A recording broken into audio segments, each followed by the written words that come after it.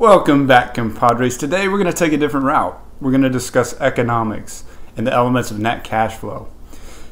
As a technical guru, I don't really put a lot of weight on economics, but it's important to understand because it dictates what I do. You know, all these cool projects that get lined up for me to take on is a direct result of the economics, of the cash flow, and somebody's decision in management to say, hey, yeah, let's go pursue this because not only can we make uh, something cool, but we can get a return on our investment. And so, you know, as an engineer, we just have to look at this and think about this uh, because in reality, a lot of you guys may actually turn into managers and uh, you're going to be seeing these concepts down the road. Why not grasp them now? So, today I'm going to talk about the engineering economics from a petroleum engineering perspective. So, guys, let's get started. Today we're going to go through a brief overview of the five elements of net cash flow that you'll see in petroleum engineering and possibly other disciplines. So one element of net cash flow is going to be expenses. So this can be like overhead cost. Another element is investments such as drilling and completion cost. Another element is outside shares. So this can include royalties paid to owners, and then revenue, probably the most important to you, how much you can get from your oil and gas streams, and last, federal income tax. We're going to touch a little bit on these in the upcoming slides. So all those elements go into the net cash flow equation the first element, revenue, is basically what you make off your sales of oil and gas streams. It can also include byproducts such as helium. I know in the LaBarge oil field in Wyoming or gas field, can't remember exactly, but they were making profit from helium that they were producing with their oil and gas streams. You can also make revenue flipping leases in the sale of assets. And so that's a positive cash flow in your net cash flow equation. The next element is investments. This includes things such as your drilling and completion cost. Um, also, it includes infrastructure to carry your oil and gas streams to a gas plant or uh, a facility to process your oil and gas stream. So it's going to include things such as pipelines and separators and equipment of that nature. And it's a deduction from your net cash flow. The next element is expenses. Expenses is going to be things such as operating costs. So there's a cost to operating a plant or facility also, it can include things such as overhead and roustabout salaries, engineering salaries.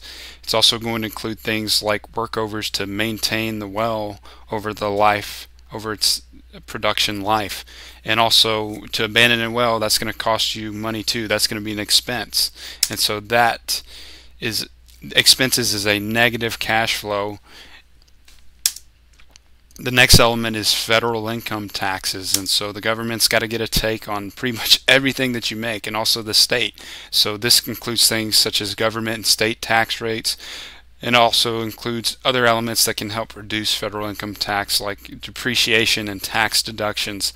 Um, so in reality your federal income tax rate I've seen it float between like 34 and 40 percent but that's a big big uh, take away from your revenue stream is federal income tax.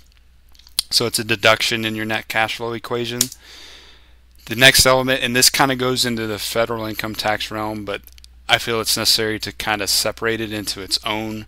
Uh, this is outside shares, and outside shares is basically those things I'm defining as as those things that take away from your production. So royalties, the owners are going to get you know, based on how the contract's written, they may get an eighth of production. So if you produce, you know, 100 barrels of oil, well, they're going to get a, an eighth cut of that. And also, these can include things like production taxes, so severance taxes on the by the state and ad valorem tax.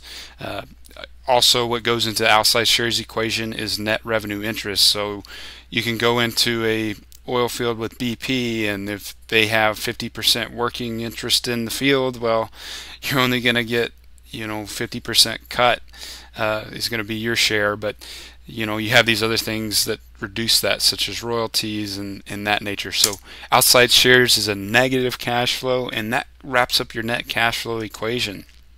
And so we're going to use elements of this in Excel to come up with an economic limit. And so we won't touch everything in this equation, but we'll touch some elements and it's important to kind of realize where your net cash flow, what what's it's being derived from. And so we're going to uh, end it there and go through and show you an example of how to uh, come up with an economic limit for your well. So let's go ahead and get started. We're going to use the same decline curve data we've used previously of our gas well and with the ultimate goal of predicting or calculating an economic limit for this well. So we've added a box here called economic parameters. It considers things such as outside shares, expenses, net revenue interest, and operating cost. So these are your the inputs we're going to be looking at with the ultimate goal of predicting a net price or the cut of the gas price that you're taking home with you that your company is making revenue off of. We've also put in investments here, drilling and completion cost of $1 million, but it won't really be applied in this example because to predict an economic limit, you're trying to go to the last point in time, and because this drilling and completion cost is made at initial time, we don't consider it when we determine our economic limit. It'll go into our net present value calculations later uh, in upcoming YouTube videos, but for now this will not be a factor. And to simplify this example, we're considering constant operating cost.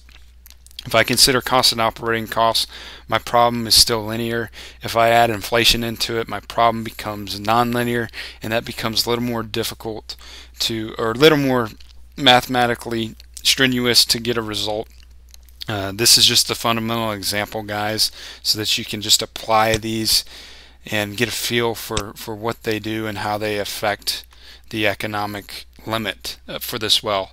So the first thing we're going to consider is working interest. We're going to say we're going to operate, we have 100% working interest, so we're not going to share this field with BP, ConocoPhillips. We're operating this field. The royalty can be, let's just say the mineral owner is going to take one-eighth of the production of what we produce the state and government also want to take some home with them. They're they're greedy, I guess. Uh, so let's just say they're going to take seven percent of our production, and also the county say they're going to take two percent with our ad valorem tax because they want to pay uh, pay for their uh, citizen schools and, and keep things nice in their city. So the constant operating cost, I'm just going to put in $100 uh, you know that's just a number I chose. It's an assumption. Um, this obviously that would mean this well has very low maintenance, and the gas price is three dollars and sixty-five cents per thousand cubic feet. I'll have to go look up that number, but that's my guess right now. And so the first thing you want to do is calculate your net revenue interest, which is simply this equation right here. It's your working interest multiplied one minus your royalty so 100% working interest times 1 minus 1 eighth. So your net revenue interest is 7 eighths. So you'll multiply this by the price to see what you take home uh, with you per thousand cubic feet of gas. But oh, the government wants it too, so you have to consider that in your net price equation. So we're going to take our net revenue interest, multiply it by gas price and then the government and state are going to take a percentage of that so we're going to multiply the price by 1 minus our severance tax minus our ad valorem tax so of that $3.65,000 $3.65 per thousand cubic feet of gas you produce, you're only making $2.91. The next step you want to do is calculate economic limit. So to calculate economic limit, you simply just consider this equation and remember I'm considered constant operating costs across the producing life of the well. So this equation would become more complicated if your operating cost was a nonlinear function. But in this case, it's we're assuming it's not. So it's going to be your operating cost divided by your net price And so your economic limit is going to be 34.4 thousand cubic feet per day. So that's that's when you would say your net cash flow is, is zero when you as your production declines to 34.4 thousand cubic feet per day well that's when you want to stop the well because you're losing money now because your operating costs exceed your price you're making and you're done so this is a very simplified example uh, we considered things such as outside shares and expenses and taxes associated with that.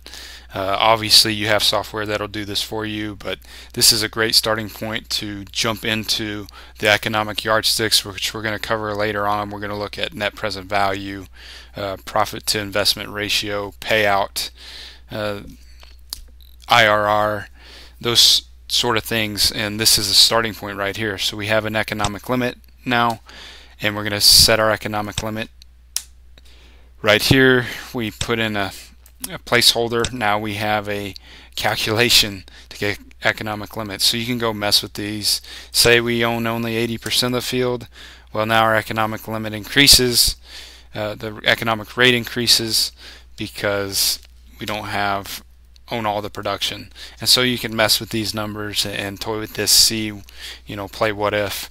Uh, that's pretty cool. But that's all I'm going to do today, guys. So I hope you enjoyed the video and I hope you learned something.